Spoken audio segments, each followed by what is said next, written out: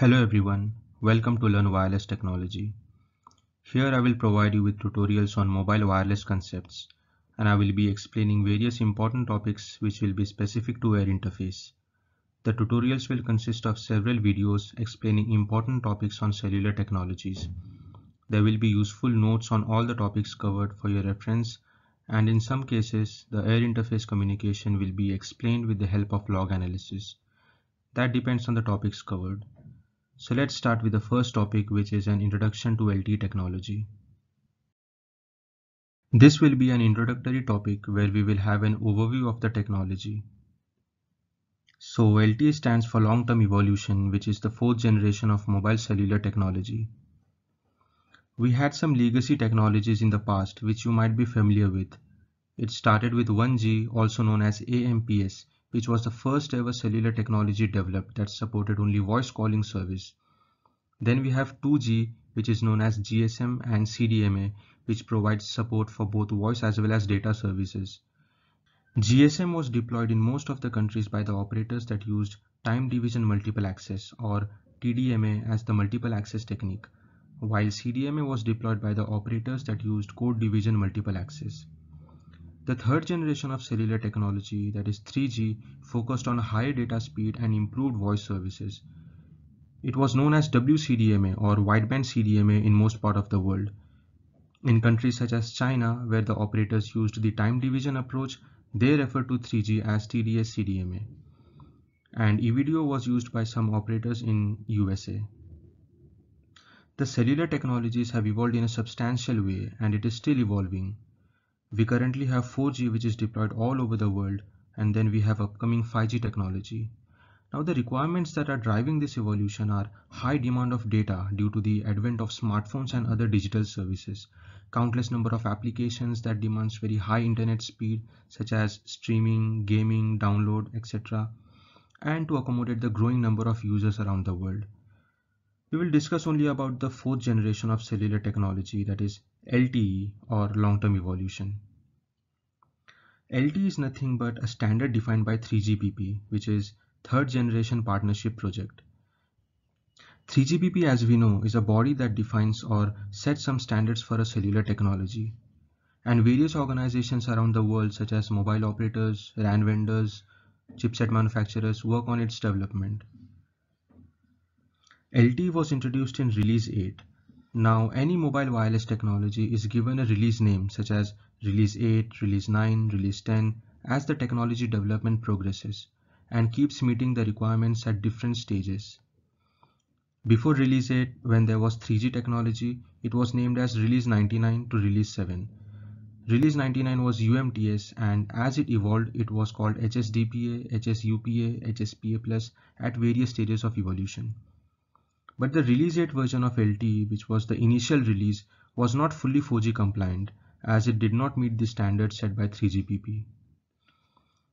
Now there are some key building blocks defined for 4G such as high spectral efficiency, enhanced peak data rates, low latency, flexibility in frequency and bandwidth, seamless mobility and interworking with legacy 3GPP and non-3GPP networks, now the CDMA and EV-DO technology that we saw earlier comes under non-3GPP networks as the standards for these technologies are defined by a different body and the technologies like GSM, WCDMA, LTE all comes under 3GPP. Now since the release 8 was the first ever release for LTE standard, it couldn't fully meet the requirement but it did provide an evolutionary path for future development of LTE.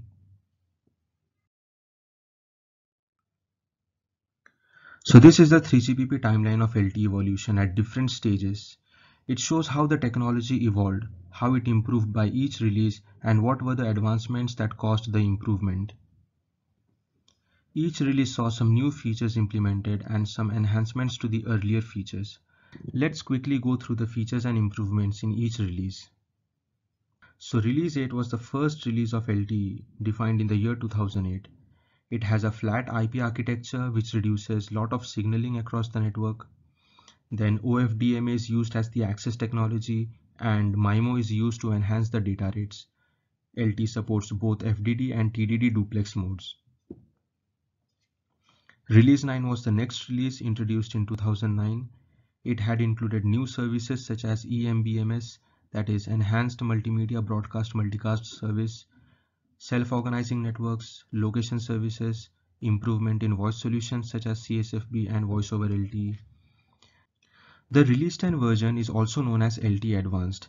It is the first standard release that meets the actual LTE requirements that were defined.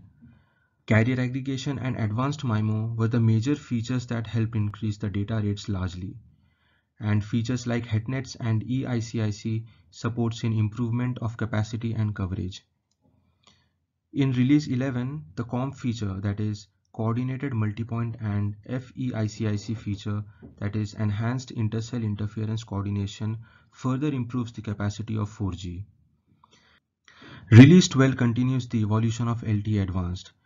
It was completed mostly in the year 2015 and focused majorly on security and emergency services. Few exceptional features were planned for the next release. The main features completed in release 12 were carrier aggregation of FDD and TDD bands, use of 256 QAM to increase data rates, device-to-device -device communication for emergency services, etc.